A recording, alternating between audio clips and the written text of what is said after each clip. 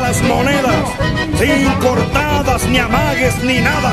Largo nomás la cuadrera, desde el vamos sin ventajas. La cosa pinta pareja, pero le saco un cogote ni bien paso los 50. De reojo voy mirando y se agranda la diferencia.